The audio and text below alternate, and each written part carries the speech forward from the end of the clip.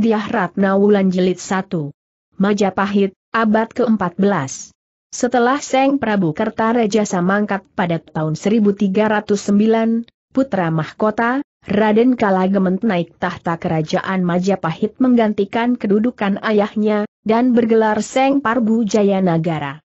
Akan tetapi, Raja muda ini banyak menimbulkan perasaan kecewa dan tidak senang di kalangan para panglima tua, yaitu panglima-panglima mendiang Prabu Kertarajasa. Banyak hal yang tidak mereka setujui berhubung dengan penobatan itu. Pertama menurut faham mereka, Raden Kalagement masih terlampau muda untuk memikul tugas menjadi raja di kerajaan Majapahit yang demikian besar dan jaya dan mereka menyangsikan apakah pemuda yang baru berusia 15 tahun ini akan dapat memberi pimpinan yang bijaksana seperti mendiang ayahnya. Kedua, mereka berpendapat bahwa sungguh pun Raden Kalagemet merupakan putra tunggal karena keturunan yang lain adalah putri-putri belaka, namun ibu dari putra mahkota ini adalah seorang putri dari Malayu yang bernama Darapeta atau Sri Indreswari. Hal ini amat mengecewakan hati para panglima karena menurut pendapat mereka, yang berhak menjadi raja di Majapahit harus seorang keturunan Majapahit asli. Adapun hal ketiga yang amat mendatangkan rasa tidak puas dan tidak senang kepada mereka adalah bahwa di dalam pemerintahan Jaya Negara ini terdapat seorang kepala agama Siwa yang sangat besar kekuasaannya. Kepala agama Siwa ini bernama Bagawan Mahapati yang amat sakti mandraguna, cerdik pandai lagi kebal terhadap segala macam senjata. Bagawan Mahapati tidak disukai oleh para panglima yang telah banyak membantu Raden Wijaya atau Prabu Kertarejasa dalam membangun keraton Majapahit. Menurut tanggapan mereka, Bagawan Mahapati ini adalah seorang pendeta yang mabuk akan kemewahan hidup dan kedudukan tinggi, bahkan mereka menaruh hati syakwa sangka bahwa bukan tak mungkin pendeta itu telah mempergunakan aji kesaktiannya untuk memasang guna-guna sehingga Prabu Jaya Nagara yang masih muda itu berada di bawah pengaruhnya. Telah banyak panglima-panglima tua yang mengajukan usul dan nasihat kepada Prabu Jaya Nagara agar supaya mereka itu dienyahkan dari kerajaan.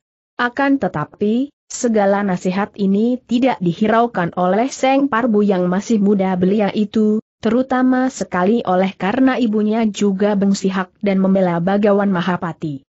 Tiga hal di atas itu merupakan sebagian daripada sebab-sebab sehingga tak lama sejak Seng Prabu Jaya Negara naik tahta, timbullah pemberontakan-pemberontakan yang dipimpin oleh para panglima ayahnya dahulu, di antaranya, Rangga Lawe, Sora dan Nambi. Rangga Lawe adalah seorang panglima gagah perkasa yang menjadi bupati di Tuban. Dahulu, panglima ini pernah dijanjikan angkat patih oleh mendiang Prabu Kertarajasa, akan tetapi janji ini tak pernah dipenuhi. Juga Prabu Jaya Nagara yang diam-diam mendapat bujukan dan bisikan dari Bagawan Mahapati, tidak mau memenuhi janji mendiang ayahnya itu. Maka berontaklah Rangga Lawe.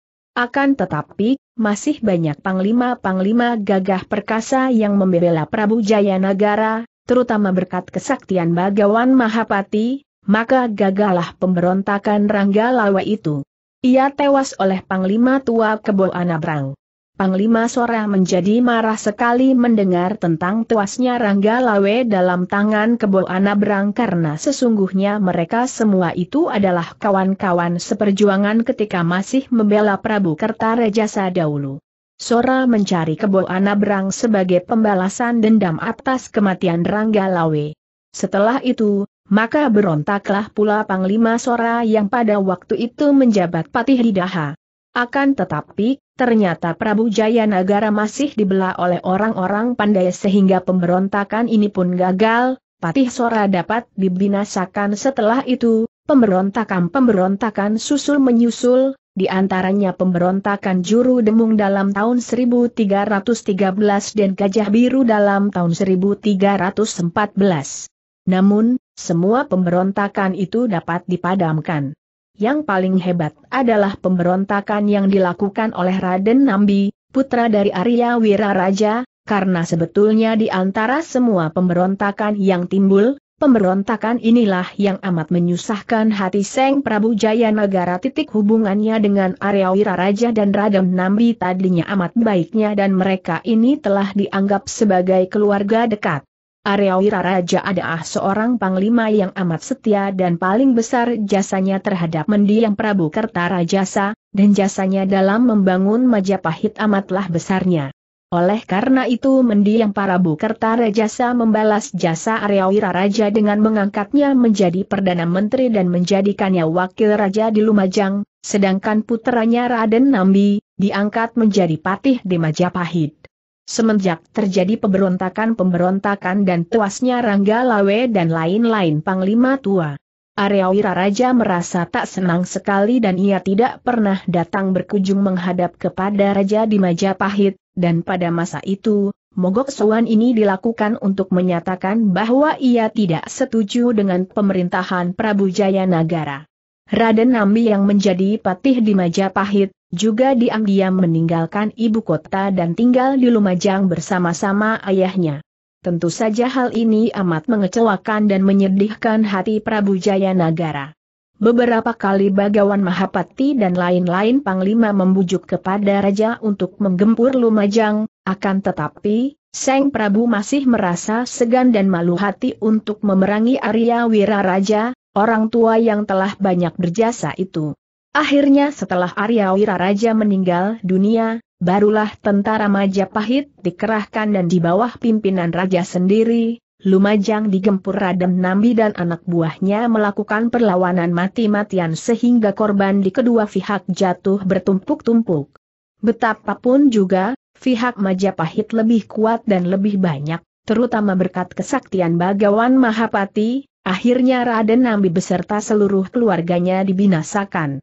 Dan di dalam geger peperangan di Lumajang itulah maka cerita ini dimulai. Di antara banyak panglima di Lumajang yang gugur dalam peperangan menghadapi serbuan tentara Majapahit, terdapat seorang senopati muda yang gagah perkasa bernama Nagawi Sena. Senopati ini adalah seorang muda yang menjadi sahabat baik Raden Nambi dan tadinya juga tinggal di ibu kota dan ikut pergi dengan Raden Nambi dari kota raja untuk menyatakan tidak senangnya terhadap pemerintahan terhadap Jaya Nagara. Istri Nagawi Sesa adalah seorang cantik jelita yang berkulit kekuning-kuningan dan bernama Dara Lasmi, yang sesungguhnya adalah seorang wanita dari Malayu. Ketika dahulu kedua puteri dari Malayu, Dara Petak dan Dara Jingga yang menjadi istri-istri dari Prabu Kertarajasa, datang di Majapahit, Lasmi menjadi seorang di antara pelayan-pelayan kedua putri itu, dan masih kanak-kanak. Berkat ketangkasan dan jasa Nagawi Sena, maka akhirnya ia jatuh cinta kepada Lasmi, mendapat kurnia raja dan dinikahkan dengan Lasmi. Dalam pernikahan ini, mereka mendapatkan seorang putri yang diberi nama Ratna Wulan. Ketika Nagawi Sena gugur dalam perang melawan tentara Majapahit, Dara Lasmi membawa anaknya lari dari Lumajang sambil menahan tangisnya karena kehancuran hatinya mendengar betapa suaminya yang tercinta itu gugur dalam peperangan dan ia tidak mempunyai kesempatan untuk menengok jenazah suaminya, Dara Lasmi menarik tangan puterinya yang baru berusia 10 tahun ini, berlari-lari keluar dari gerbang kota Lumajang sebelah barat.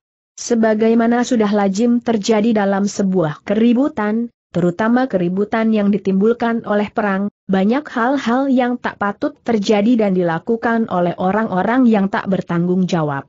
Demikian pun dalam pertempuran di Lumajang ini, banyak anak buah dari bala tentara Majapahit melakukan penyelewengan-penyelewengan merampok harta benda penduduk Lumajang, dan bini orang yang masih muda dan cantik.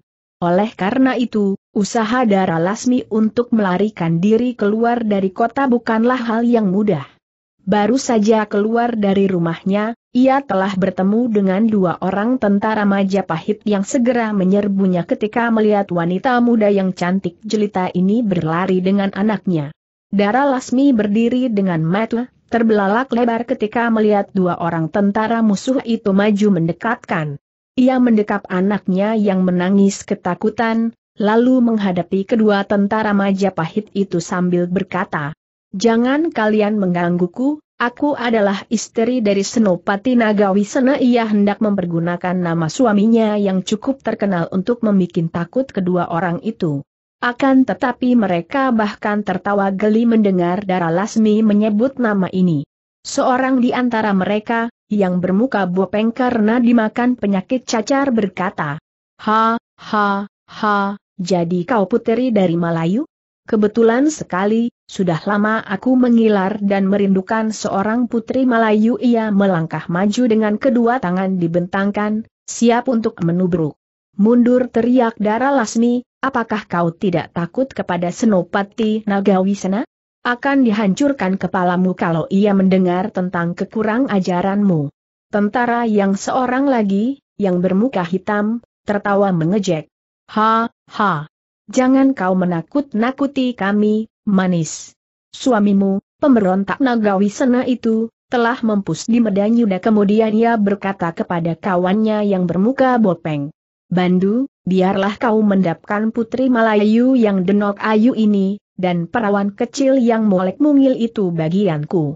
Aku cukup sabar menanti barang lima tahun lagi, tentu ia akan menjadi bunga yang lebih harum dan segar daripada ibunya ha, ha, ha. Selagi kedua orang itu tertawa-tawa dengan lagak menjemukan, marahlah Dara Lasmi. Ucapan-ucapan yang amat menghina itu membuat mukanya yang cantik menjadi merah padam dan kemarahannya tak dapat ditahan lagi. Ia lalu membawa dia Ratna Wulan ke tepi jalan, kemudian ia mencabut keris yang terselip di ikat pinggangnya. Gerakannya cepat dan tangginas sekali. Memang nasib kedua orang tentara Majapahit itu yang sial. Mereka tidak tahu siapakah adanya wanita cantik yang mereka ganggu. Dara Lasmi bukanlah wanita sembarangan dan dahulu, ketika ia masih tinggal bersama dengan orang tuanya di tanah Melayu, ia telah mendapat latihan pencak silat dari ayahnya, seorang pendekar yang cukup terkenal. Setelah menjadi istri Nagawisna, Dara Lasmi bahkan memperdalam ilmu silatnya. Suaminya sendiri, Nagawisna, banyak mendapat kemajuan dalam ilmu berkelahinya dari istrinya ini. Kedua orang tentara Majapahit itu makin keras suaranya ketika melihat Dara Lasmi mencabut keris. Apakah daya seorang wanita lemah lembut dan secantik itu? Sebagai dua orang prajurit yang kenyang akan pengalaman pertempuran tentu saja sikap Dara Lasmi tidak menakutkan hati mereka, bahkan menggelikan. Mereka saling padang, kemudian si muka bopeng berkata, Lihat calon kekasihku ini. Gagah sekali bukan? Biar ku tangkap dia sambil berkata demikian, Si muka bopeng itu menubruk maju sambil mengembangkan kedua lengannya, bagaikan seekor harimau menubruk kambing. Akan tetapi, dengan padangan matanya yang tajam. Dara Lasmi berlaku waspada dan cepat sekali ia melangkah ke samping, mengelak dari terkaman laki-laki buas itu. Begitu tubuh laki-laki itu menyambar lewat, secepat kilat kerisnya menyambar ke arah lambung. Prajurit itu terkejut sekali dan cepat memiringkan tubuhnya ke samping untuk menghindarkan diri dari tusukan maut ini, akan tetapi ia kalah cepat dan kulitnya masih tergores keris sehingga mengucurlah darah dari lambungnya. Barulah terbuka mata kedua orang prajurit itu. Rasa sakit karena kulit lambungnya pecah membuat si muka bopeng menjadi marah sekali dan sekaligus kegairahan hatinya memiliki puteri jelita itu berubah menjadi nafsu untuk membunuh. Ia mencabut kelewangnya yang tergantung di pinggang. Kau ingin mampus serunya dan kelewangnya menyambar ke arah leher Dara Lasmi. Akan tetapi, pada saat itu, Dara Lasmi telah berubah menjadi seorang pendekar wanita. Setiap otot dan urat di dalam tubuhnya menegang, sepasang matanya yang indah bening itu memancarkan cahaya berapi, hawa yang keluar dari pernapasan panas. Ketika keluang di tangan lawannya menyebar ke arah leher tanpa berkedip sedikit pun darah Lasmi mengelak cepat, bukan untuk menjauhi lawan, akan tetapi bahkan ia menyelinap di bawah sambaran keluang itu dan kaki kanannya melangkah masuk dibarengi dengan luncuran kerisnya yang cepat sekali gerakannya, maka, cep keris itu menancap perut lawannya sampai ke gagangnya. Sebagai seorang ahli silat yang mahir, Dara Lasmi secepat itu pula mencabut kerisnya, dibarengi dengan gerakan tangan kiri mendorong ke depan dan tubuhnya cepat membalik ke belakang menjauhi lawan. Untuk beberapa saat tubuh si muka bopeng seperti kejang dan kaku, kelewangnya terlepas dari tangan, matanya memandang terbelalak ke depan.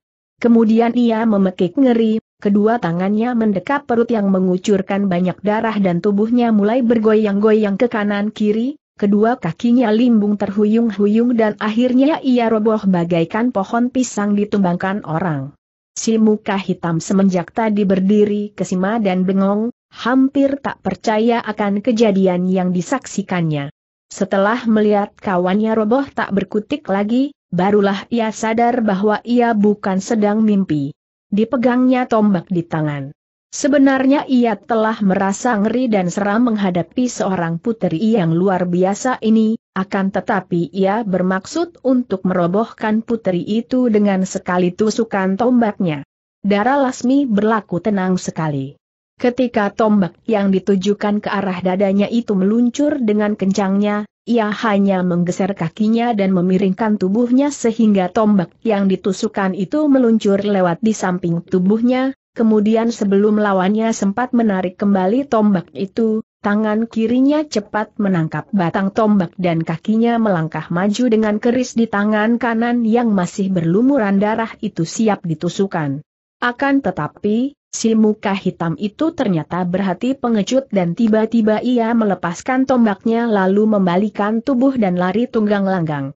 Dara Lasmi melepaskan tombak itu dan memandang dengan dada masih berombak karena marah, melihat orang yang berlari cepat dan hanya nampak kedua telapak kaki orang itu yang seakan-akan menendangi pantatnya sendiri.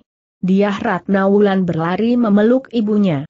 Barulah Dara Lasmi lenyap marahnya dan ia mengucap syukur kepada Gusti Yang Maha Agung bahwa yang menyerangnya hanya dua orang. Kalau yang menyerangnya berjumlah banyak, sungguh pun ia akan dapat melindungi diri sendiri akan tetapi belum tentu ia akan dapat melindungi anaknya. Pikiran ini membuat ia cepat memasuki rumahnya kembali dan ketika tak lama kemudian ia keluar, ia telah berubah menjadi seorang wanita yang berpakaian compang-camping dan mukanya penuh dengan lumpur dan arang, menutupi kecantikannya. Demikianlah, wanita yang bernasib malang ini, lalu pergi keluar dari pintu gerbang sebelah barat. Untung baginya bahwa di situ sunyi karena peperangan berlangsung di sebelah utara kota dan ia dapat keluar dari Lumajang dengan selamat. Dengan tindakan cepat ia mengandeng anaknya berlari terus ke barat. Dia Ratna Wulan biarpun baru berusia 10 tahun, akan tetapi ia memiliki kekerasan hati seperti ibunya. Biarpun ia telah merasa betapa kedua kakinya lelah dan sakit sekali, ia menguatkan hati dan menggigit bibirnya, terus berjalan setengah berlari di samping ibunya. Baru setelah mereka berjalan lama dan jauh meninggalkan kota sehingga suara pekik sorak orang-orang yang bertempur tak kedengaran lagi, Ratna Wulan mengeluh dan berkata perlahan. Ibu apakah kita tidak mengasuh dulu? Dara Lasmi berhenti dan menunduk memandang ke arah kedua kaki putrinya. Hatinya terasa perih seperti tertusuk pisau ketika melihat betapa kedua kaki anaknya itu bengkak-bengkak dan pinggirnya telah pecah-pecah. Dua titik air mati menetes turun DNA ia cepat merangkul anaknya. Manis, kita belum boleh mengasuh dulu? Dara Lasmi berhenti dan menunduk, memandang ke arah kedua kaki putrinya. Hatinya terasa perih seperti tertusuk pisau ketika melihat betapa kedua kaki anaknya itu bengkak-bengkak dan pinggirnya telah pecah-pecah. Dua titik air mati menetes turun dan ia cepat merangkul anaknya. Manis, kita belum boleh mengasuh, belum cukup jauh dari Lumajang. Marilah kau ku gendong, nak.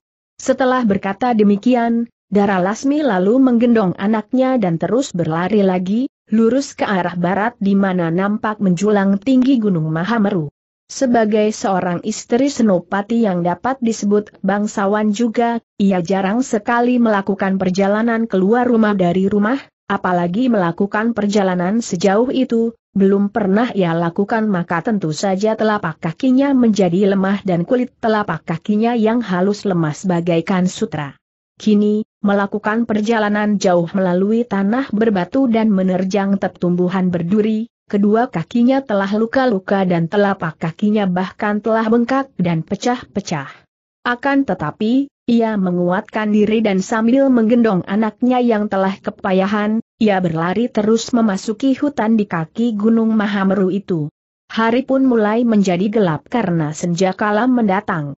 Setelah tiba di dalam hutan yang sunyi, barulah ia berhenti mengasuh di dekat sebatang anak sungai yang amat jernih airnya. Ia menurunkan dia Ratna Wulan yang segera duduk di atas rumput dan menggosok-gosok kakinya yang amat sakit. Anak itu mulai menangis perlahan-lahan sambil mengeluh. Sakitkah kakimu? Wulan tanya ibunya dengan suara penuh iba. Ratna Wulan hanya mengangguk dan ibunya lalu memeriksa kaki anaknya yang pecah-pecah kulit telapaknya itu.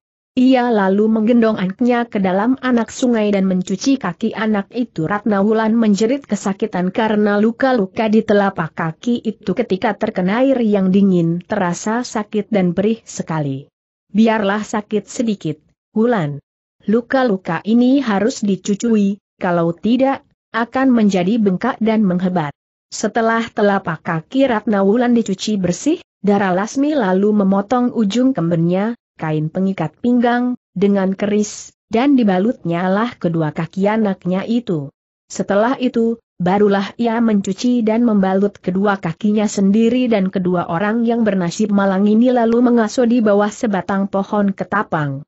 Rasa sakit pada kakinya mengurang dan hal ini membuat Ratna Wulan dapat merasai rasa lapar yang menyerang perutnya. Beberapa kali ia memandang ibunya yang duduk melamun seperti kehilangan semangat itu, akan tetapi ia tidak membuka mulut ia maklum bahwa semenjak pagi tadi ibunya pun belum makan dan maklum pula bahwa ibunya tidak membawa makanan apa-apa, maka ia tidak berani menyatakan bahwa perutnya lapar. Ibu, akhirnya suara anak itu memecah kesunyian.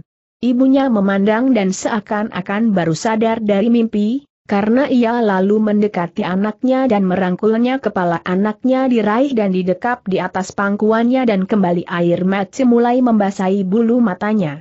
Ada apakah, Wulan? Masih sakitkah kakimu ia menekan perasaannya agar supaya anaknya jangan sampai mendengar suaranya yang mengandung isak.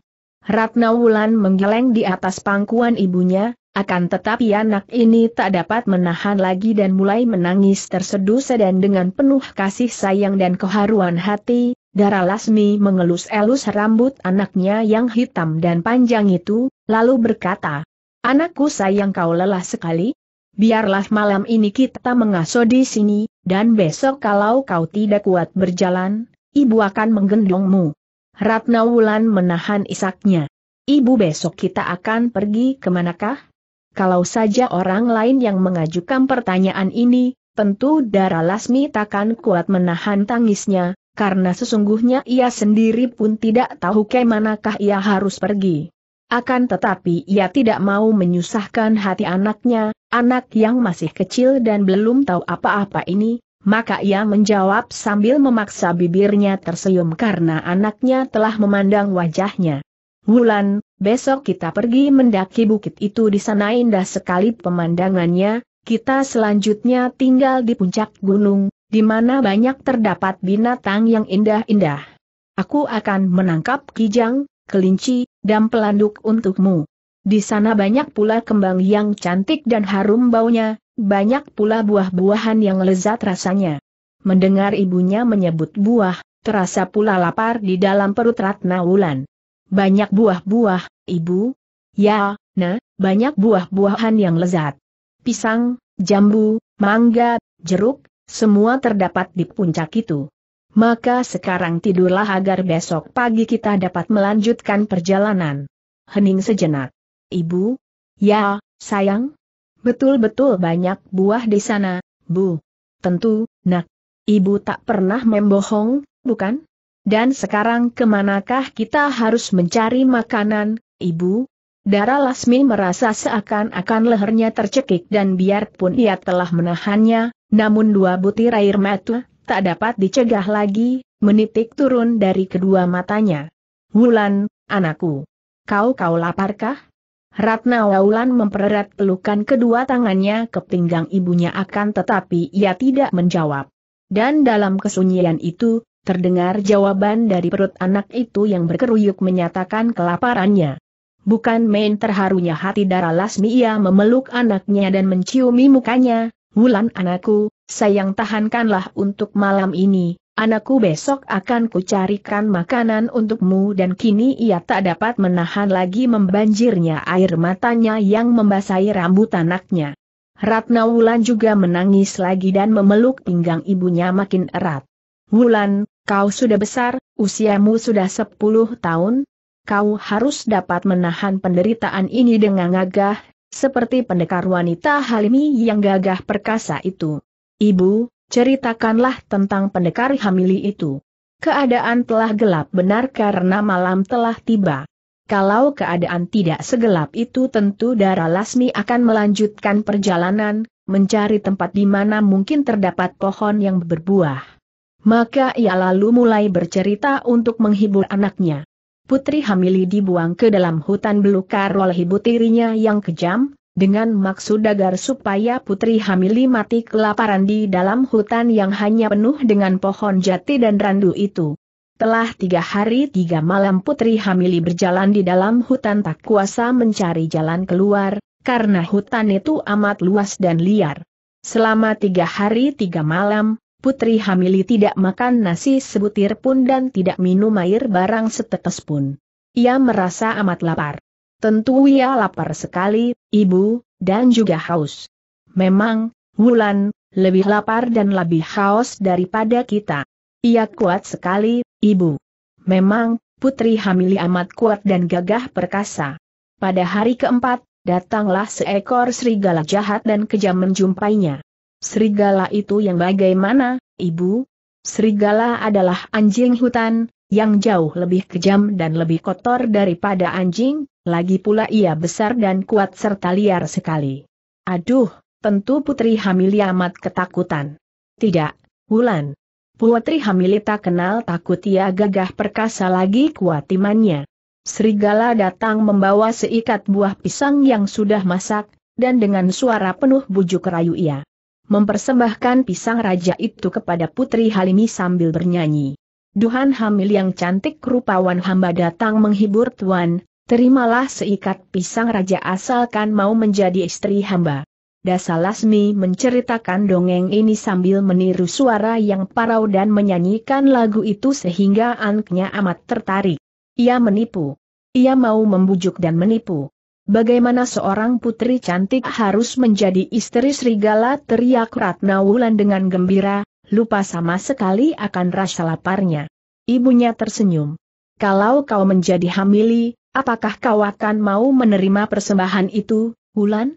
Tidak sudi, tidak sudi jawab anaknya. Sungguh pun kau amat lapar. Tidak sudi. Biar ku tahan rasa laparku jawab pula anak itu penuh semangat. Nah, Demikian pun Putri Halimi. Ia menolak keras dan menjawab dengan nyanyian pula. Wahai Serigala Jahanam Angkara. Tiga hari tiga malam aku berpuasa, namun bujukanmu ini, tak sudi aku terima. Ketahuilah, Putri Hamili tahan menderita. Lapar dan haus gangguan biasa. Enyahlah kau, Serigala menyahlah. Putri Hamili Putri yang gagah. Bagus Ratna Wulan berteriak sambil tersenyum-senyum dan bertepuk tangan. Demi mendengar jawaban ini, Serigala menjadi marah lalu ia menyerang putri ini dengan terkamannya sambil membuka mulutnya yang lebar penuh dengan gigi yang runcing dan mengerikan.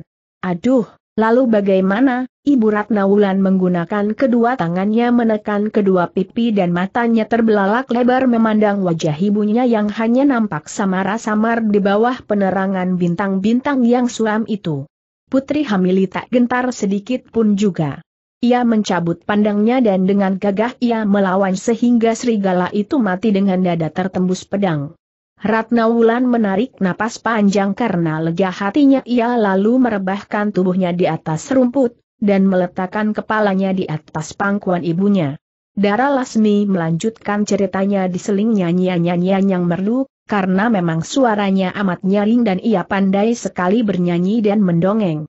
Akhirnya tertidurlah Ratna Wulan tanpa teringat sedikit pun akan kelaparan perutnya. Setelah tarikan napas anak itu menyatakan bahwa ia telah tidur nyenyak barulah Dara Lasmi menghentikan nyanyian-nyanyiannya dan ia lalu duduk melamun sambil menaruh tangannya di atas kepala anaknya. Ia mengenangkan segala peristiwa pagi tadi dan tak terasa pula ia menangis lagi, yang ditahan-tahannya agar jangan sampai menimbulkan suara dan mengganggu anaknya yang sedang tidur. Hatinya penuh dendam dan sakit hati kepada Kartika yang telah menjadi pembunuh suaminya. Kalau suaminya sebagai seorang senopati gugur di dalam peperangan secara sah, ia akan rela karena gugur adalah hal yang tidak memalukan dan sudah sewajarnya bagi seorang panglima perang. Ia takkan menaruh hati dendam kepada siapa pun juga, tidak kepada kerajaan Majapahit, maupun kepada orang-orang tertentu kewajiban seorang panglima dan prajurit hanya untuk membela negara dan bangsa, membela kerajaan dan junjungan, membela pimpinannya, tanpa memusingkan pikiran tentang urusan yang menimbulkan pertikaian dan peperangan itu.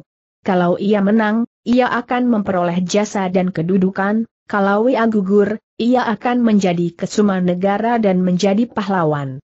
Akan tetapi, yaitu Kartika, yang tadinya dianggap sebagai sahabat baik dan setia. Sepekan sebelum terjadi peperangan, Kartika datang dari kota raja mengunjungi suaminya. Sikapnya ketika memandangnya telah menimbulkan rasa jijik dan tak senang di dalam hatinya karena sebagai seorang wanita yang berperasaan halus ia dapat menangkap arti sinar mata laki-laki itu akan tetapi oleh karena Kartika dan suaminya, telah menjadi sahabat karib semenjak mereka masih tinggal di kota raja, maka ia diam saja dan pura-pura tidak melihat sinar metu yang mengandung kekurang ajaran itu Kartika adalah murid tersayang dari Bagawan Mahapati, dan kedatangannya itu untuk membujuk-bujuk Nagawisena agar supaya suka membantu serbuan tentara Majapahit dan suka membela Prabu Jaya Nagara. Akan tetapi, suaminya menjawab dengan suara tetap. Kartika, kalau saja yang mengeluarkan ucapan ini bukan kau, yang telah kuanggap sebagai saudara sendiri, tentu sekarang juga bukan mulutku yang bicara, melainkan kerisku. Dengarlah. Aku telah bersumpah setia kepada Raun Nambi dan sebagai seorang senopati Lumajang, aku akan membela Lumajang dengan jiwa dan ragaku. Siapa pun juga yang mengganggu Lumajang, akan kuhadapi dengan keris di tangan dan biarpun aku harus berkorban nyawa, aku rela. Aduh, sahabatku yang kucinta Kartika dengan wajahnya yang tampan itu membayangkan keharuan hati dan mulutnya mengeluarkan ucapan yang amat manis, bagaimana hatiku akan rela melihat kau binasa di bawah serbuan tentara Majapahit. Apa boleh buat, Kartika? Kalau sudah tiba masanya kau menjadi prajurit Majapahit dan menyerbu ke Lumajang, terpaksa aku akan meramkan metu dan menghadapimu dengan senjata di tangan, dengan pendirian bahwa penyerbu Lumajang adalah musuh negara yang harus kulawan dengan gigih. Kartika menjadi amat kecewa mendengar pernyataan Nagawisena yang tak tertundukan itu, maka sebagai penutup kata ia berkata, Nagawisena, Sahabatku betapapun menyesal dan kecewa rasa hatiku, namun apabila benar-benar barisan Majapahit menyerbu ke sini, akan kuusahakan agar kau jangan sampai tewas dalam peperangan itu. Tewas hanyalah berpulang ke tempat asal, Kartika. Dan tiada yang lebih mulia bagi seorang senopati melainkan tewas dengan tombak tertancap di dada. Demikianlah, Kartika kembali ke kota raja melaporkan kegagalannya dan pagi tadi, Ketika perang tanding sedang memuncak dan ramainya Nagawisena yang mengamuk hebat tiba-tiba berhadapan dengan Kartika. Sayang, Kartika. Terpaksa kita harus berhadapan dengan senjata di tangan Ata Nagawisena dengan gagah. Akan tetapi, tiba-tiba Kartika melemparkan senjatanya ke atas tanah dan berkata dengan uara berduka. Ngawisena, benar-benarkah akan sekejam itu hatimu? Tidak ingatkah kau betapa dahulu kita di masa kanak-kanak bersama-sama mandi di begawan, mencari sarang-sarang burung dan bermain-main? Ah, kawan, aku tak tega mengangkat senjata kepadamu. Kartika, jangan kau selemah itu kata Nagawisena sambil mengertak giginya, mengeraskan hati. Tidak, Nagawisena, tidak kita tak boleh saling menyerangi. Simpanlah kembali kerismu dan biarkan aku memelukmu sekali lagi. Kita di medan perang, Kartika, jangan bersikap seperti wanita lemah. Kabulkan permintaanku yang terakhir ini, Nagawi Sena. Simpanlah senjatamu dan biarkan aku memelukmu sekali lagi. Setelah itu, terserah kepadamu kalau hendak melanjutkan pertempuran. Pelukan terakhir ini berarti banyak bagiku, sahabatku yang baik. Siapa tahu, kalau bukan kau tentu aku yang akan gugur di medan yuda ini. Lemah hati Nagawi Sena mendengar ini. Dimasukkannya kembali kerisnya di warangka keris dan mereka lalu saling memeluk sebagai dua orang sahabat karib. Akan tetapi, Ketika dua orang muda itu saling memeluk, tiba-tiba Senopati dari Majapahit cepat memusuk lambung Nagawi Sena dari belakang dengan kerisnya. Pelukan terlepas dan Nagawi Sena terhuyung-huyung lalu roboh mandi darah. Kartika yang berhati palsu itu hanya tersenyum menyerigai dan berkata kepada Nagawi Sena yang menggeletak di atas rumput. Salahmu sendiri mengapa kau tidak mendengar bujukanku. Demikian terjadilah peristiwa itu. Dara Lasmi mengertak gigi, mengepal tangan dan matanya memancarkan cahaya berapi.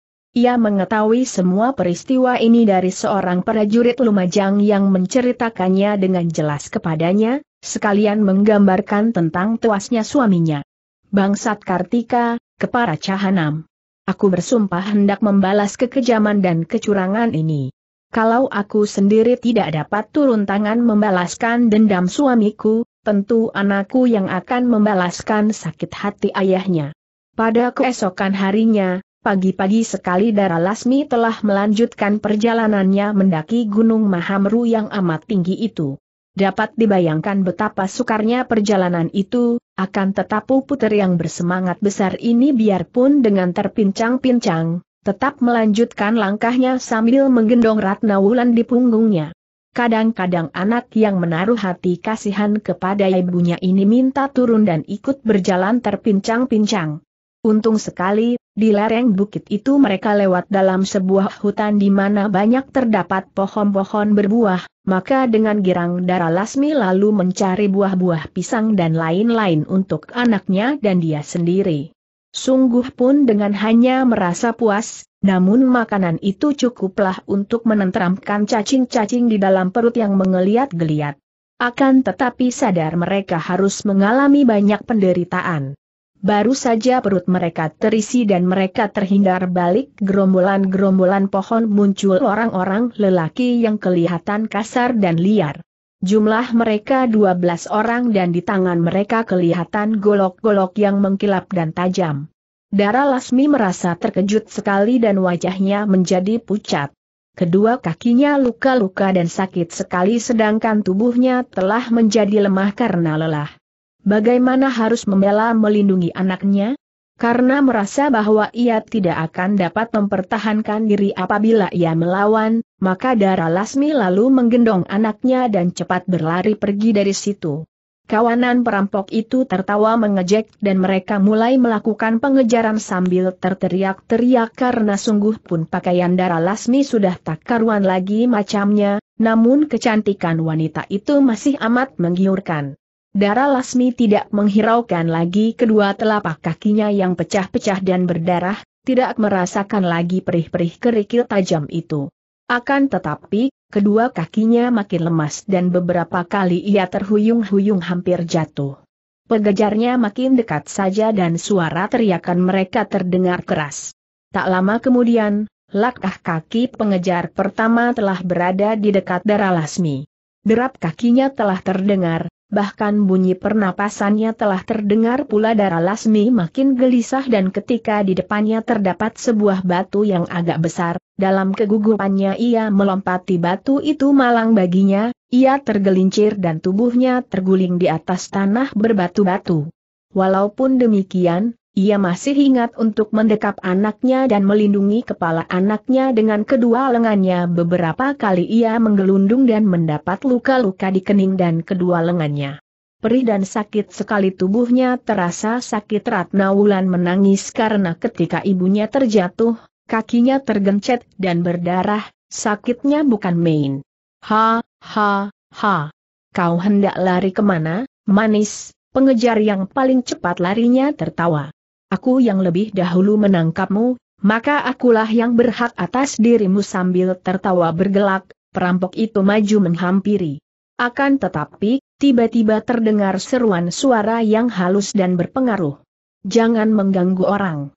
Mendengar suara yang amat berpengaruh ini, bagaikan ada tenaga yang menahan gerakan perampok yang hendak menubruk darah Lasmi itu. Ia cepat menengok dan melihat seorang kakek tua turun dari lereng bukit dengan tindakan kaki tenang. Sementara itu, Dara Lasmi mengeluh dan merangkak bangun, memijit-mijit kaki anaknya yang berdarah sambil menghiburnya.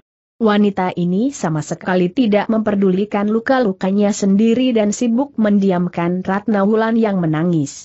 Perampok itu menjadi marah dan pada saat itu kawan-kawannya yang tadi mengejar telah sampai di situ pula. Mereka lalu memandang kepada kakek itu telah turun dari bukit. Kakek ini telah tua, bajunya berlengan panjang warna putih, celananya sampai di bawah lutut berwarna hitam, tangan kanan memegang sebatang tongkat hitam rambut kepala dan kumis serta jenggotnya panjang berwarna putih, nampak mengkilap bagaikan perak ketika tertimpa sinar matahari. Perampok yang marah itu lalu membentak. Hi, kakek tua renta. Mengapa kau berani menghalangi maksudku? Apakah kau telah bosan hidup? Semenjak dahulu, sekarang dan kemudian aku selalu hidup, bagaimana dapat disebut bosan kata kakek itu dengan suaranya yang lemah lembut dan sabar, kalian janganlah mengganggu wanita ini. Lihat keadaannya demikian sengsara, tidak kasihan bahkan mau mengganggu, apakah itu bukan perbuatan yang melanggar peri kemanusiaan? Berandal-berandal itu adalah orang-orang kasar yang setengah liar, mana tahu tentang peri kemanusiaan? Seorang di antara mereka berkata kepada pemimpinnya yang tadi mengejar darah Lasmi. Kakang Singo, mengapa perdulikan ocehan seorang kakek yang sudah mau mati? Tangkap saja perempuan itu. Mereka serentak maju hendak menangkap Dara Lasmi, akan tetapi tiba-tiba terdengar bentakan kakek itu dengan suara gemuruh. Jangan bergerak dan aneh 12 orang perampok yang tinggi besar dan kuat itu tiba-tiba berdiri dalam dalam gerakan masing-masing, ada yang sedang mengulur tangan, ada yang sedang berlari, ada pula yang sedang menengok, semua berdiri diam dan kaku tak dapat bergerak seperti patung batu-batu. Melihat keanehan ini, Dara Lasmi tertegun dan berdiri dengan bengong, kemudian ia maklum bahwa ia berhadapan dengan seorang tua yang sakti, maka sambil menggendong anaknya dan berjalan terpincang-pincang ia lalu menghampiri kakek itu dan menjatuhkan diri berlutut, menyembah, lalu ibu yang sengsara itu terjungkal pingsan bersama Ratna Wulan di dalam gendongannya. Jagat Dewa Batara kakek itu menyebut, kasihan sekali nasibmu yang buruk ini, Nini. Ketika Dara Lasmi siuman kembali dari pingsannya, dengan amat heran ia mendapatkan dirinya telah berada dalam sebuah pondok bilik yang amat sederhana dan Ratna Wulan telah tidur nyenyak di sebelahnya, yaitu di atas sebuah pembaringan bambu yang bersih. Ia bangun perlahan dan memandang ke kanan kiri. Pondok itu tak berkamar, hanya kecil saja bagaikan gubuk di tengah sawah. Ia turun dari pembaringan bambu itu dan merasa makin terheran ketika merasa betapa kedua kakinya telah sembuh sama sekali. Ketika keluar dari sebuah pintu yang kecil di depan pondok, angina sejuk meniup perlahan dan ia merasa tubuhnya menjadi segar dan berbareng perutnya terasa lapar sekali. Setelah ia keluar dari pondok, ia menahan seruannya karena merasa amat kagum. Pemandangan di luar pondok benar-benar mengagumkan dan indah sekali ternyata bahwa pondok itu berada di puncak Gunung Mahamru dan di depannya terbentang luas tamasya alam yang indah menawan hati. Bunga-bunga harum indah tumbuh di sana-sini, pohon-pohon yang penuh buah-buahan terdapat banyak sekali di sekitar tempat itu. Suara burung yang berkicau membuat ia merasa seakan-akan berada di alam mimpi. Ternyata bahwa saat itu matahari baru saja terbit, maka ia merasa heran bagaimana ia bisa berada di tempat ini. Ia teringat kepada kakak yang menolongnya, maka ia menduga bahwa tentu kakek itu yang membawa mereka berdua ke tempat ini. Dara Lasmi mencari-cari dengan matanya, namun kakek itu tidak nampak berada di sekitar tempat itu. Ibu tiba-tiba terdengar Ratna Wulan memanggilnya ia kembali ke dalam pondok dan anaknya telah turun dari pembaringan. Juga keadaan Ratna Wulan amat sehat dan segar agaknya hawa gunung yang sejuk membuat mereka merasa amat segar dan sehat. Sudah bangunkah kalian tiba-tiba terdengar suara halus bertanya. Suara ini datangnya dari depan pondok, maka Dara Lasmi lalu mengandeng tangan anaknya dan segera keluar dari pondok. Ternyata bahwa yang bicara itu adalah kakek yang kemarin menolong mereka, maka Dara Lasmi lalu mengejak anaknya cepat-cepat berlutut menyembah memberi hormat.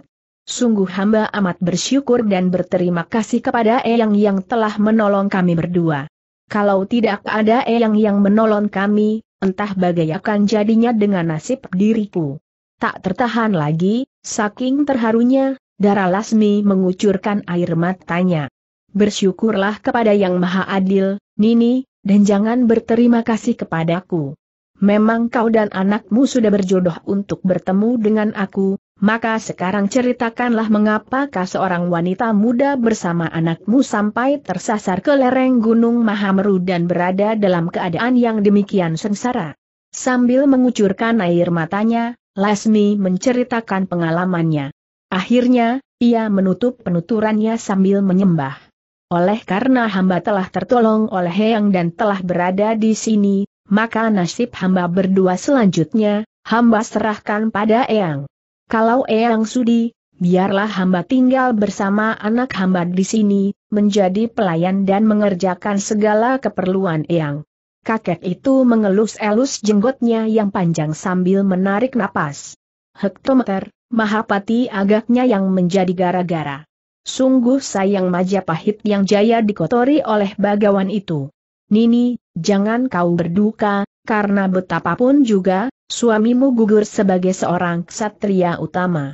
Kau tinggallah di sini bersama anakmu dan asal saja kau tidak teringat akan kemewahan hidup di kota dan cukup merasa puas dengan apa yang ada, kau tentu akan menemui kebahagiaan hidup di tempat sunyi ini di lereng sebelah utara, tak jauh dari sini, terdapat beberapa kelompok dusun sehingga kau tak perlu khawatir akan kesunyian, sungguh pun di sini kau takkan bertemu dengan orang-orang gunung yang sederhana saja. Adapun anakmu ini, jiwa ksatria ayahnya menurun kepadanya, maka biarlah ia kudidik dan menjadi muridku. Bukan main girangnya hati Dara Lasmi, dan kini yang mengalir turun dari matanya adalah air mata kebahagiaan. Terima kasih, Eyang. Sungguh kata-kata Eyang itu merupakan pendengaran yang paling indah dan membesarkan hati bagi hamba. Kau anak yang baik, Nini, dan demi yang maha adil, kebaikan selalu mendatangkan kebaikan. Kakek tua itu bukan lain ialah Seng Panembahan Mahendraguna, seorang pertapa sakti yang telah puluhan tahun bertapa di puncak Gunung Mahameru. Orang-orang dusun yang tinggal di sekitar gunung itu, menyebutnya dengan sederhana saja, yaitu Eyang Semeru. Selain bertapa kakek ini suka bertani, menanam sayur-sayur dan suka pula berjalan-jalan ke kampung-kampung untuk memberi wejangan-wejangan kepada orang-orang kampung dan gunung, bahkan tak jarang ia menolong mereka yang menderita sakit tak seorang pun tahu dari mana asalnya kakek luar biasa ini yang hidupnya amat sederhana, akan tetapi tak seorang pun di antara mereka yang tidak menaruh hormat terhadap Yang Semeru. Demikianlah, semenjak tertolong oleh kakek sakti ini Dara Lasmi hidup di puncak Mahameru, mengatur segala keperluan kakek itu dan juga mendidik Ratna Wulan anak tunggalnya yang terkasih. Tepat sebagaimana yang dikatakan oleh Yang Semeru, semenjak tinggal di gunung itu, Ratna Wulan memperlihatkan bahwa ia memiliki ketangkasan dan sifat-sifat keperwiraan, tiada bedanya dengan seorang anak laki-laki. Ia mendapat latihan-latihan ilmu pencak silat dari ibunya dan dalam waktu setahun saja, semua kepandaian ibunya telah diwarisinya sampai tamat. Dara Lasmi memang sengaja mendidik puterinya agar supaya menjadi seorang pendekat wanita, karena tidak saja ketangkasan dan kegagahan diperlukan bagi seorang yang hidup di tempat berbahaya itu, juga ia bercita-cita untuk menyuruh anaknya ini kelak membalas dendam kepada Kartika. Di samping memberi latihan silat, Dara Lasmi juga memberi latihan-latihan pekerjaan yang harus diketahui oleh seorang wanita, yaitu pekerjaan tangan, memasak dan lain. Alangkah girang hati Dara Lasmi ketika mendapat kenyataan bahwa setelah menamatkan pelajaran ilmu pencak silat yang ia berikan kepadanya, Ratna Wulan mulai mendapat pelajaran dari Eyang Semeru sendiri. Dan ketika ia melihat Eyang Semeru memberi latihan keperwiraan kepada anaknya, ia menjadi takjub karena ternyata bahwa kakek itu adalah seorang ahli yang sukar dicari bandingannya. Baru mendapat latihan beberapa bulan saja, sudah nampak kehebatan gerakan Ratna Wulan apabila anak itu sedang berlatih pencak gerakan-gerakannya selain cepat, juga amat luar biasa. Dara Lasmi ketika masih kecil dan berada di rumah ayahnya yang menjadi pendekat pencak, sudah sering kali melihat kawan-kawan ayahnya bermain silat, akan tetapi belum pernah ia melihat gerakan-gerakan yang secepat dan sehebat ilmu pencak yang diajarkan oleh Yang Semeru kepada Ratna Wulan. Maka diam-diam wanita muda ini mengucap syukur di dalam hatinya kepada Yang Maha Agung yang telah mempertemukan ia dan anaknya dengan Eyang Semeru. Waktu berbuar amat cepatnya. Tujuh tahun lewat tak terasa, seakan-akan tujuh tahun itu hanya tujuh hari saja. Bagaikan seng waktu, segala apa di permukaan bumi ini bergerak maju, berubah dan tumbuh tak terasa pula. Benih bertunas, menjadi sehelai rumput hijau tak berarti, lalu tumbuh menjadi besar, bercabang, berdaun, berbunga, berbuah. Yang tadinya belum ada bermunculan, yang kecil menjadi besar, yang besar menjadi tua akhirnya kembali lenyap di telan bumi semua ini terjadi bersama peredaran waktu, tak terasa, tahu-tahu sudah terjadi dan demikian seterusnya, selama dunia masih ada. Akan tetapi, di antara segala benda di alam dunia, Gunung Mahamru termasuk benda yang amat kokoh kuat, aguknya tak terpengaruh oleh waktu, atau andai kata terpengaruh, maka perubahannya amat kecil, takkan terlihat oleh mati manusia. Keadaan Gunung Mahamru tujuh tahun yang lalu dengan keadaan sekarang, masih sama gunung itu masih menjulang tinggi, kepalanya lenyap di telanawan, bagaikan raksasa dalam samadi. Besar, tinggi, angker dan jaya, saksi mati segala peristiwa yang melihat semua itu dengan sabar dan diam Mahamru maklum bahwa segala peristiwa yang terjadi di permukaan bumi ini memang harus terjadi dan semestinya demikian, maka ia tidak mau mengganggu gugat, tidak mendorong ataupun mencegah, menyerahkan segala sesuatunya kepada pengaturnya. Bunga-bunga berkembang dan merontok berulang kali di lereng Gunung Mahameru. Pohon-pohon tua tumbang dan pohon-pohon baru tumbuh. Namun keindahan lereng gunung itu tidak berubah, baik bunga-bunganya yang beraneka ragam dan warna serta keharumannya yang menyegarkan hawa itu, maupun kehijauan pohon-pohon yang memenuhi hutan-hutan di sekitar lambung dan kaki gunung. Pada suatu pagi yang indah di lereng Gunung Mahameru, Seng Batara Surya baru saja muncul kembali setelah beristirahat semalam suntuk di belakang Gunung Mahameru. Cahayanya yang kuning kemerahan bagaikan sinar kencana murni itu menembus embon pagi yang tebal, Seakan-akan merupakan air suci yang dituangkan dari surga loka segala sesuatu merasakan kenikmatan hangat yang ditimbulkan oleh cahaya matahari, kenikmatan yang membuat segala benda merasa bersyukur bahwa ia masih hidup di permukaan bumi ini. Suara burung yang ratusan macamnya memenuhi udara dengan kicau dan nyanyi, amat merdu dan membangkitkan suasana gembira, tak kalah indahnya dengan bunyi nyanyian maupun indahnya dengan bunyi nyanyian maupun gamelan yang mana pun juga. Sukarlah menuturkan atau menggambarkan keindahan tamasya alam di pagi hari di lereng Gunung Mahameru itu, karena bahasa dunia tak cukup kuat untuk menggambarkan keindahan yang mulus dan suci itu.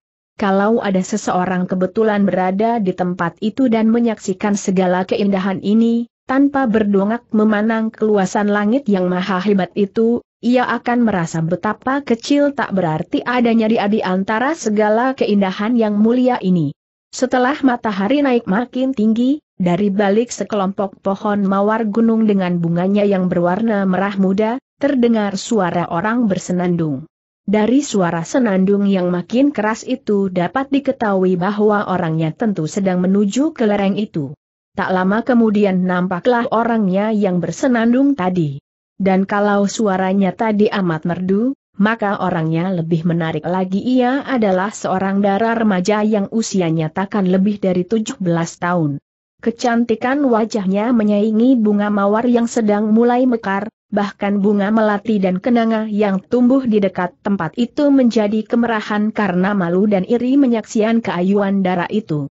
Rambutnya hitam panjang terurai ke belakang punggung, segar dan gemuk, terhias kembang melati yang harum dan putih bersih di atas sebelah kiri dan di dekat telinga terhias dengan kembang mawar merah. Sepasang matanya lebar dan jernih sekali, dengan warna putih pada matanya yang mengingatkan orang akan permata yang menghias ujung daun di pagi hari ini, sedangkan manik matanya hitam dan mengeluarkan sinar tajam berkilat.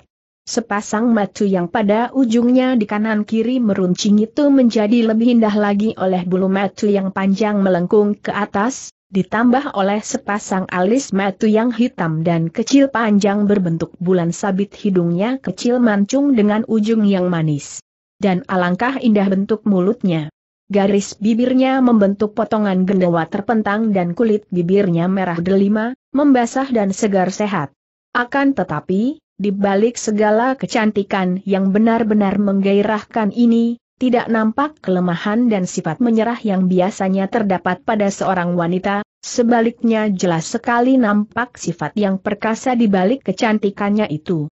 Terutama sekali sepasang matanya yang tajam itu menyinarkan semangat yang bernyala-nyala dan ketabahan yang luar biasa. Pakaiannya sederhana saja dan dari pakaiannya ini nampak pula sifat sidatnya yang gagah. Baju kutangnya terbuat daripada kain berwarna hitam, dengan hiasan rendah putih di bagian pinggangnya, atas dan bawah baju kutangnya yang hanya membungkus dadanya setinggi bawah pangkal lengan itu melibat erat, namun masih belum cukup kuat untuk dapat menyembunyikan keindahan bentuk tubuhnya yang mulai berkembang.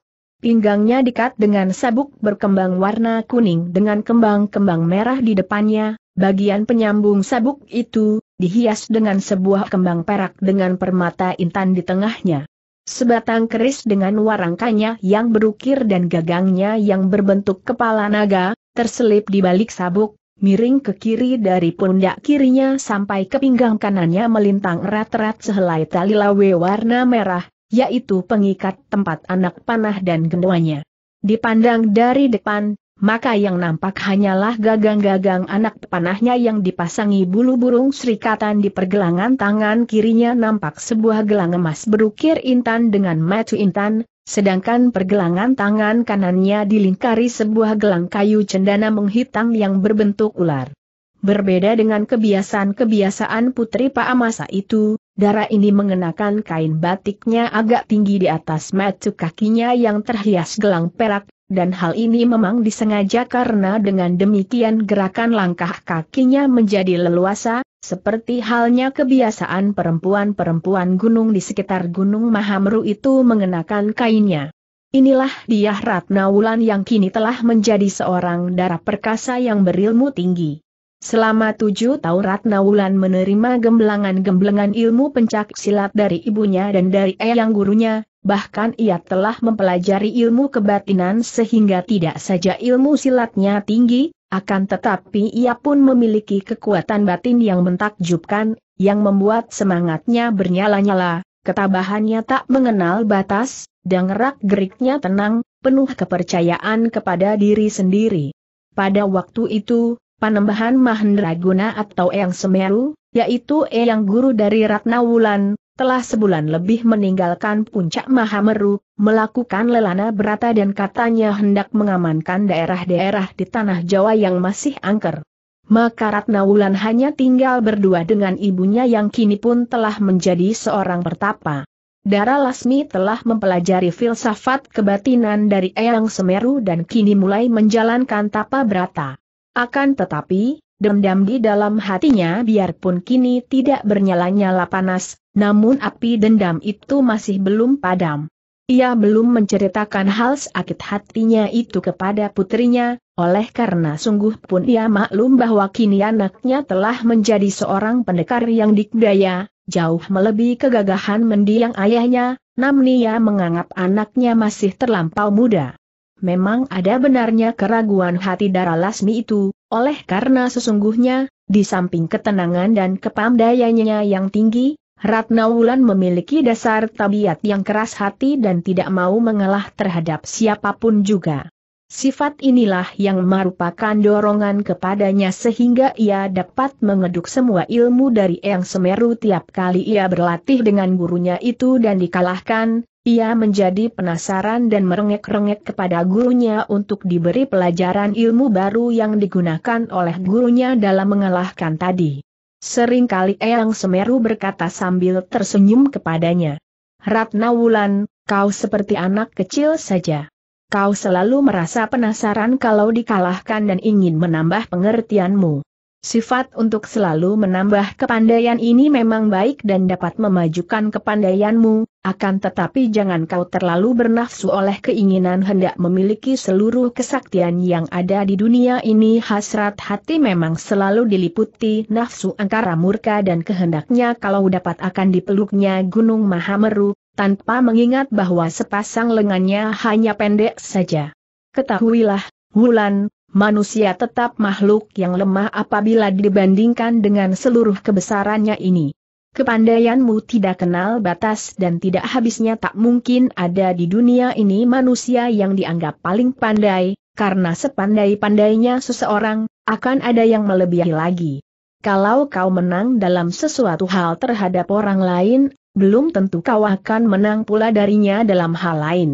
Dan akhirnya, sepandai-pandainya orang, ia akan merasa dirinya bodoh dan kecil kalau berhadapan dengan hukum dan kekuasaan alam. Betapapun juga, karena Eyang Semeru amat sayang kepada darah ini, ia turuti juga permintaannya dan karenanya, Ratna Wulan menjadi makin pandai saja. Baik ilmunya memanah, bersilat tangan kosong, main keris, maupun kekuatan batinnya, membuat ia menjadi seorang darah perkasa yang jarang terdapat keduanya pada zaman itu.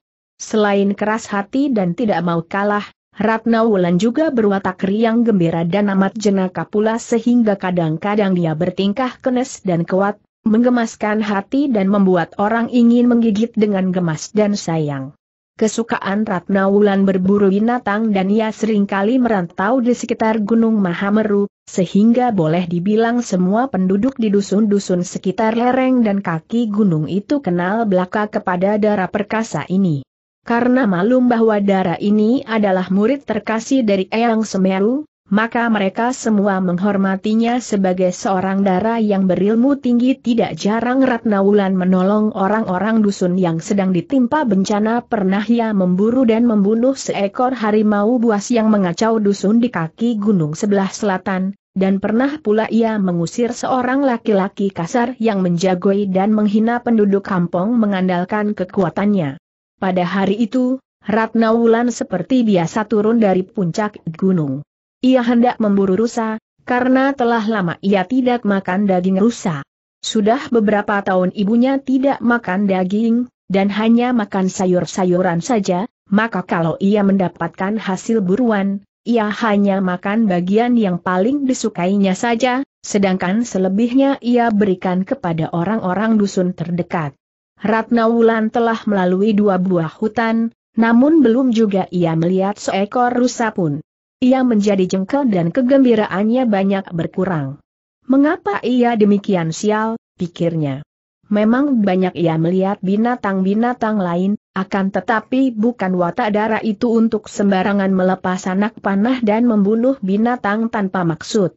Kalau ia ingin membunuh rusa, harus rusalah yang menjadi kurban anak panahnya, bukan binatang lain Ratna Wulan belum-belum pernah membunuh binatang, kalau ia ingin makan daging itu, atau kalau binatang itu tidak menyerangnya.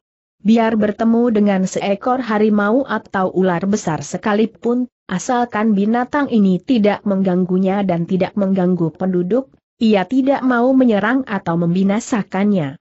Setelah matahari naik tinggi dan tengah hari telah lewat, ia tiba di dalam sebuah hutan di sebelah utara gunung. Di luar hutan itu terdapat sebuah dusun yang disebut Dusun Jati Kembar. Nama ini diberikan orang kepada dusun itu karena di situ terdapat sepasang pohon jati yang besar dan tua dan yang bentuknya hampir sama, maka dikenal jati kembar. Ratna Wulan telah dikenal baik oleh penduduk di situ, maka darah ini ingin singgah di situ melepas lelah. Tiba-tiba ia melihat berkelebatnya bayangan rusa. Hatinya berdebar girang dan bagaikan anak panah terlepas dari busurnya, tubuhnya melesat dan memburu rusa itu dengan cepatnya. Rusa adalah seekor binatang yang dapat berlari amat cepatnya, akan tetapi oleh karena tahu bahwa dirinya dikejar orang, rusa itu berlari sambil sembunyi-sembunyi sehingga sebentar saja Ratnawulan dapat mengejarnya. Percuma saja binatang itu hendak menyembunyikan dirinya, karena sepasang metu darah itu yang amat tajam dan erlatih, selalu dapat mengikutinya.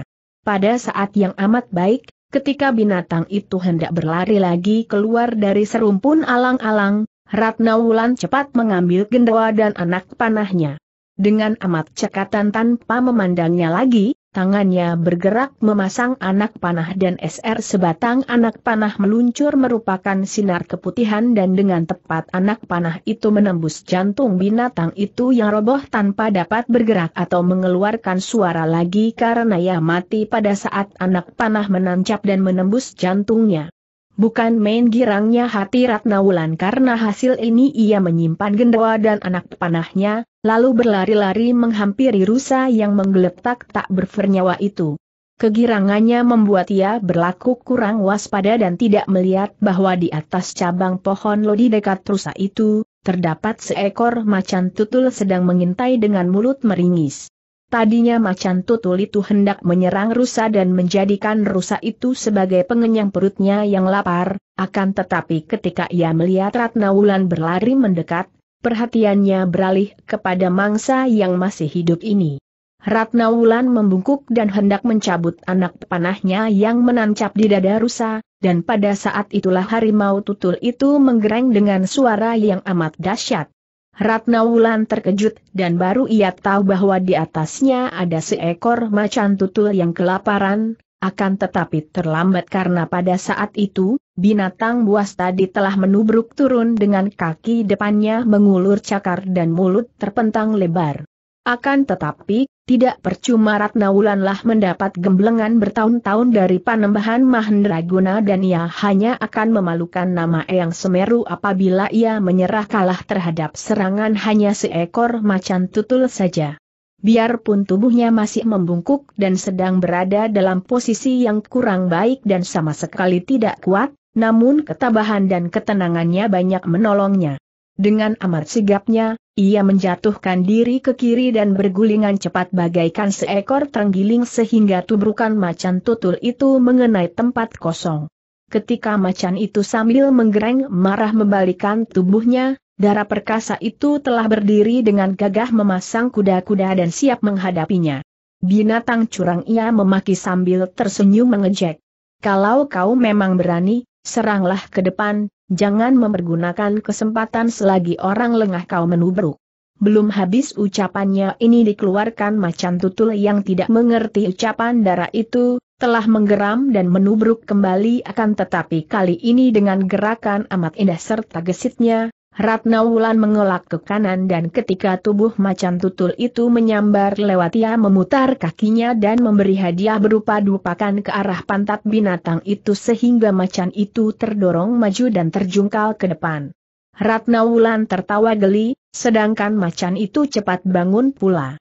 Ia tidak segera menyerang, akan tetapi menggereng perlahan, mulutnya ditarik meringis seakan-akan memperlihatkan keruncingan siungnya kepada lawan. Kedua kaki depannya menggaruk-garuk tanah sehingga tidak saja rumput-rumput menjadi jebol karena kuku-kukunya yang menggaruk kuat, bahkan batu-batu kecil juga ikut tergali keluar. Ia seakan-akan hendak memperlihatkan betapa kuatnya kakak kukunya. Tubuhnya direndahkan sehingga perutnya yang kempis itu menyentuh tanah, seluruh urat kakinya tegang siap untuk menubruk kembali. Bagi orang lain, lebih-lebih wanita, baru melihat siung dan gigi yang runcing dan tajam serta cakar yang ganas dan kuat itu, tentu ia akan menggigil karena merasa ngeri dan takut. Akan tetapi Ratna Wulan bahkan tertawa geli dan berkata seakan-akan lawannya seorang manusia yang mengerti kata-katanya. Macan busuk. Kau mempunyai benda-benda runcing, apa kau kira aku pun tidak mempunyai itu? Kau lihat ini sambil, sekali tangan kanannya bergerak, maka keris pusaka Kiai Banaspati yang selalu terselip di pinggangnya kini telah berada di tangannya. Aneh sekali, entah karena keampuhan Kiai Banaspati, keris pusaka pemberian yang semeru itu, atau karena ketegangan gadis itu yang amat ganjil bagi si macan tutul, akan tetapi buktinya binatang ini seperti merasa ragu-ragu untuk melanjutkan serangannya. Sampai lama ia mendekam saja, menggereng perlahan dan bahkan tubuhnya lalu bergerak mundur perlahan sekali. Hi, binatang pengecut. Apakah kau patut disebut Raja Hutan Ratna Wulan mengejek dan ia memandang sebuah batu yang berada di depannya ke arah macan tutul itu. Macan tutul itu menggerung kesakitan dan dengan kaki depan serta mulutnya, ia mencoba untuk mencakar atau menggigit buntutnya yang telah hilang sehingga tubuhnya berputar-putar seperti baling-baling. Kemudian, dengan amarah meluap-luap ia menerjang lak, kini tidak ingin melompat ke atas, hanya langsung menerjang ke depan, tubuhnya diluruskan dan dipanjangkan. Dua buah kaki depannya mencakar ke arah tubuh Ratna Wulan. Serangan ini diganda tertawa saja oleh darah pendekar itu yang lalu melompat ke atas melalui tubuh harimau sambil berseru. Awas telingamu dan ketika ia menggerakkan kerisnya, maka terbabat putuslah telinga kiri harimau itu. Kembali macan tutul itu menggerung-gerung kesakitan dan darah mengucur dari kepalanya yang kini tinggal bertelinga satu itu. Ia memandang kepala lawannya dengan marah dan kepalanya digerakkan ke kanan kiri karena terasa amat perih dan sakit. Bagaimana, kucing dapur? Masih belum puaskah? Awas, kali ini kedua matamu hendak kuambil. Akan tetapi agaknya macan itu telah puas dan kapok. Buktinya, tanpa pamit lebih dahulu ia lalu membalikan tubuhnya dan melarikan diri secepat mungkin dengan terhuyung-huyung karena tanpa buntut, ia kehilangan keseimbangan tubuhnya dan telinganya yang tinggal satu itu membuat kepalanya terasa berat sebelah. Ratna Wulan tertawa bergelak dengan hati geli. Ia menyimpan kembali kerisnya di dalam warangka dan sambil tersenyum ia memungut telinga dan buntut macan tadi, dibawanya ke tempat rusa yang menjadi korban anak panahnya. Pada saat itu, muncullah belasan orang dusun jati kembar ada yang membawa arit, ada yang membawa tombak, kapak, linggis dan bahkan ada yang membawa pacul seorang yang berubah gemuk bahkan membawa sebatang alu yang potongannya seperti tubuhnya sendiri. Beramai-ramai mereka menuju ke tempat itu dan ketika melatrat Nawulan, mereka segera maju menghampiri dengan wajah nampak girang. Eh, eh, paman-paman sekalian ini hendaknya manakah tanya Ratnawulan sambil memandang heran. Seorang tua yang memegang tombak, yaitu Pak Ganjar yang dianggap sebagai kepala dusun jati kembar, menarik napas panjang dan menjawab. Ah, baiknya ada kau di sini, Jeng Wulan, memang Ratna Wulan disebut Raden Ajeng Ratna Wulan yang disingkat Jeng Wulan saja, karena sungguh pun Dara Lasmi tak pernah menceritakan pada orang lain bahwa ia adalah istri seorang senopati, namun keadaan dan sifat-sifat Dara Lasmi dan Ratna Wulan membuat semua orang dusun menduga bahwa mereka tentu berarah bangsawan. Ada apakah, Paman Ganjar? Agaknya kalian hendak berangkat perang? Sebenarnya kami sedang dalam keadaan gelisah, bagaikan seekor burung yang baru saja terhindar dari bahaya maut sebatang anak panah sehingga apa saja yang kami dengar menimbulkan rasa takut. Tadi kami sedang berkumpul dan merundingkan sesuatu yang amat penting, yaitu tentang bahaya yang mengancam dusun kami, Tiba-tiba kami mendengar rauman macan tutul sehingga dengan gugup dan ketakutan kami lalu mengambil senjata seadanya untuk menuju ke tempat ini tak taunya kau yang berada di sini dengan seekor rusa yang telah kau panah mati. Heran sekali, di manakah adanya macan tutul yang tadi kami dengar suaranya? Sambil tersenyum manis Ratna Wulan menjawab, macan tutul? Ah, ia telah melarikan diri, paman. Ia memang berada di sini tadi, akan tetapi setelah menyatakan takluk kepadaku dan memberi tanda mata buntut dan kupingnya, ia lalu pergi. Sambil berkata demikian Ratna Wulan lalu mengeluarkan buntut dan kuping macan tutul yang terbabat putus oleh kerisnya tadi. Semua orang menjadi bengong mendengar betapa seekor macan tutul yang ganas dapat menyatakan takluk dan bahkan memberi tanda mata berupa buntut dan telinga, akan tetapi setelah mereka melihat buntut dan telinga yang berdarah itu, bersoraklah mereka dengan girang dan kagum. Mereka dapat menduga bahwa darah perkasa ini tentu telah mempermainkan macan itu sehingga buntut dan telinganya terpotong. Kau tadi menyatakan tentang adanya bahaya yang mengancam kampungmu, Paman Ganjar. Sebetulnya apakah yang telah terjadi? Pak Ganjar menarik napas berulang-ulang, kemudian ia menuturkan dengan suara berat. Bencana telah menimpa kepada kami, Jeng Wulan. Bukan itu saja, yang mengelisahkan kami adalah bahaya yang mengancam keselamatan penduduk sekitar Mahamru ini. Beberapa hari yang lalu, beberapa orang kawan kami yang membawa hasil hutan ke kaki bukit sebelah timur, telah bertemu dengan segerombongan perampok yang katanya berasal dari para pelarian dari Majapahit, yaitu sisa para pemberontak yang telah dipukul hancur oleh barisan Majapahit mereka itu tidak saja merampok habis kawan-kawan kami itu, bahkan menyatakan hendak menyerbu dan merampok habis dusun di sekitar gunung dan hendak memaksa kami memberi runsum kepala mereka. Ratna Wulan menjadi marah mendengar ini sehingga alisnya terangkat naik. HMM, di manakah adanya perampok-perampok jahanam itu?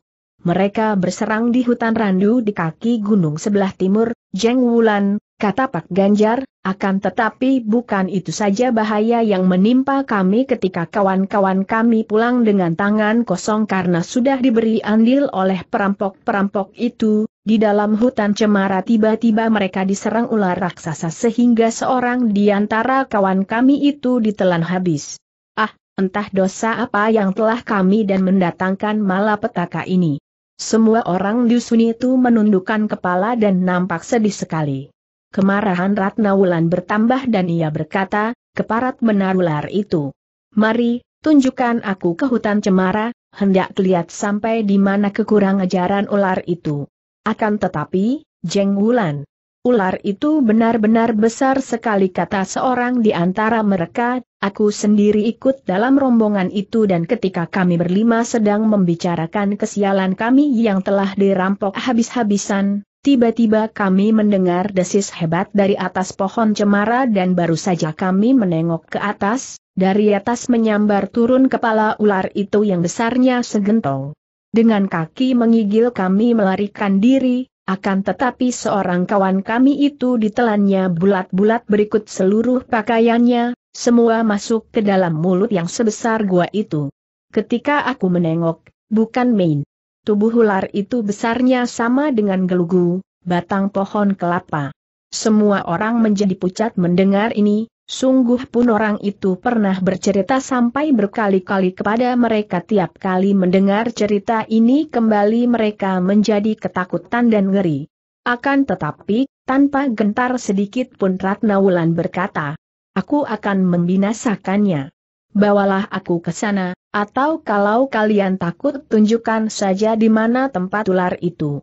Timbullah semangat Pak Ganjar menyaksikan sikap gagah ini walaupun ia masih merasa ragu-ragu ketika bertanya. Akan tetapi, Jeng Wulan, binatang itu demikian berbahaya, bagaimana kalau sampai terjadi sesuatu dengan kau? Kami takut akan mendapat marah dari Eyang Semeru. Jangan takut. Sebaliknya kalau kalian tidak mau memberitahukan dan aku tidak mau menolong, beliau akan marah kepadaku, juga kepada kalian. Kalau sampai terjadi sesuatu, biarlah ku tanggung sendiri. Baik, kalau begitu kami akan mengantarmu ke tempat itu, Jeng Wulan. Hayo, siapa yang berani mengantar kata kepala dusun itu dengan gagah? Ternyata semangat orang tua ini menular kepada semua orang dan di antara belasan orang itu, tidak ada seorang pun yang tidak mau mengantar, semua hendak ikut dan hendak menyaksikan betapa darah perkasa itu membinasakan ular. Akan tetapi, rusa ini harus dibawa ke dusun jati kembar lebih dulu, kalau tidak segera dirawat akan rusak, kata Ratna Wulan. Demikianlah, beramai-ramai para penduduk jati kembar itu mengiringkan Ratna Wulan memasuki dus jati kembar sambil memikul rusa yang besar itu. Mereka berseri-seri bangga seakan-akan rusa yang dipikulnya itu adalah hasil buruan mereka. Kegirangan ini bukan tak beralasan, oleh karena seperti biasa, gadis pendekar itu hanya makan sedikit bagian saja, sedangkan selebihnya akan dibagi-bagi dengan adil. Riuhlah seluruh penduduk jati kembar, tua muda laki perempuan, menyambut kedatangan darah perkasa itu. Rusa itu lalu dikuliti, dan beberapa orang wanita sibuk memasak hati dan buntut rusa karena mereka maklum bahwa hanya itulah kegemaran Ratna Wulan. Tak lama kemudian, hati dan buntut rusa yang telah masak mengebul harum dihidangkan kepada Ratna Wulan yang segera memakannya dengan enak sebagai teman nasi pulan. Setelah Sara Perkasa itu selesai makan, ia lalu minta diantar ke hutan cemara di mana terdapat ular besar itu. Kini yang mengantarnya terdiri dari orang-orang bersenjata parang, tobak dan keris sebanyak 20 orang.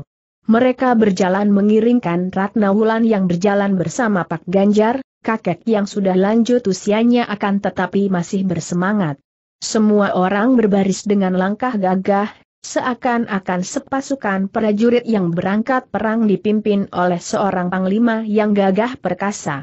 Akan tetapi, ketika mereka telah tiba di luar hutan cemara, lenyaplah sebagian besar kegagahan mereka bahkan Pak Ganjar sendiri yang paling berani kini berjalan di belakang Ratna Wulan, tidak seperti tadi selalu di samping gadis pendekar itu. Di sanalah tempatnya, melalui tanjakan itu memblok ke kiri, kata seorang di antara mereka, kawan si korban ular. Tiba-tiba mereka mendengar suara yang menyeramkan menggema di hutan. Suara ini seperti bunyi burung gagak yang menggoak dengan suara parau dan eras, akan tetapi suara ini lebih besar dan lebih parau. Suara itu berbunyi berulang-ulang sampai delapan kali dan tiap kalinya mendatangkan gema dan membuat bulu tengkuk semua orang meremang. Suara apakah itu tanya Ratna Wulan penuh perhatian. Itulah suaranya, Jeng Wulan bisik Pak Ganjar. Aku tahu benar, ular yang besar memang dapat menggoak seperti gagak. Dan menilik dari suaranya tadi, ia tentu amat besar, suara kepala kampung ini gemetar karena ia menahan rasa takutnya. HMM, kalau begitu, biarlah aku maju sendiri dan kalian berani mendekat, boleh mengikuti di belakangku, akan tetapi jangan terlalu dekat. Dengan langkah gagah dan sedikit pun tidak ragu-ragu atau jerih, Ratna Wulan menuju ke tanjakan itu, kemudian ia membelok ke kiri. Para pengikutnya yang berjumlah 20 orang itu saling pandang untuk beberapa lama mereka tidak bergerak maupun bersuara, bahkan bernapas pun mereka tahan-tahan. Mati mereka ditujukan kepada Ratna Wulan sampai gadis itu lenyap dalam tikungan tanjakan.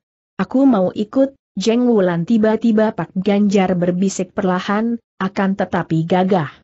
Kemudian dengan dada berdebar keras, kakek ini melangkah maju, mendaki tanjakan, dengan tombaknya terpegang erat-erat di tangan kanan. Perbuatan ini mendatangkan ketabahan dalam hati semua orang dan kini semua orang melangkah maju perlahan mendaki tanjakan, di belakang Pak Ganjar. Ketika Ratnulan tiba di bawah pohon cemara yang tinggi dari mana suara menggoak tadi terdengar, ia tertegun juga melihat seekor ular yang membelitkan tubuhnya pada cabang pohon itu dengan kepala bersembunyi di balik daun cemara. Tubuh ular itu tidak sebesar yang diceritakan oleh orang tadi, dan hanya di bagian perutnya saja yang benar-benar sebesar pohon kelapa karena agaknya di situlah terletak mayat seorang yang telah ditelannya, akan tetapi bagian tubuhnya yang lain tidak sebesar itu. Kulitnya berwarna coklat kekuning-kuningan dengan kembang-kembang hitam melingkar-lingkar. Inilah semacam ular sanca kembang yang jarang ditemukan orang dan sungguh pun penuturan orang tadi agak dilebih-lebihkan, akan tetapi Ratna Wulan harus mengaku bahwa belum pernah ia melihat ular sebesar itu. Ular itu membelit cabang terendah dan melihat panjangnya tubuh ular itu, bisa jadi kepalanya menyentuh tanah apabila ia menggantungkan tubuhnya sambil mempergunakan ekornya untuk melilit cabang dan menahan tubuhnya.